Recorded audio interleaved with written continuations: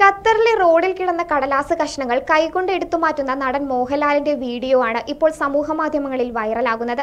കാറിൽ നിന്നും ഇറങ്ങി വരുന്ന മോഹൻലാൽ കാണുന്നത് ആരോ അലക്ഷ്യമായി വലിച്ചെറിഞ്ഞ കടലാസ് കഷ്ണങ്ങളാണ്. ഇത് ശ്രദ്ധയിൽപ്പെട്ട മോഹൻലാൽ ഒരു മടിയും കൂടാതെ ഉടൻ തന്നെ അവ പെറുക്കി മാറ്റുന്നത് വീഡിയോയിൽ കാണാം. മോഹൻലാലിന്റെ ഫാൻസ് പേജിലാണ് വീഡിയോ വന്നിരിക്കുന്നത്. വീഡിയോ പുറത്തു വന്നതിന് പിന്നാലെ നിരവധി പേരാണ് കമന്റുകളുമായി രംഗത്തെത്തിയത്. മോഹൻലാലിന്റെ ജോസ് പെല്ലിശ്ശേരി ചിത്രം മലൈക്കോട്ടെ വാലിബൻ ഖത്തറിലാണ് ചിത്രീകരിക്കുന്നത്. ഈ മാസം പതിനെട്ടിന് ചിത്രീകരണം ആരംഭിക്കാനിരിക്കെയാണ് വീഡിയോ വൈറലാകുന്നത്.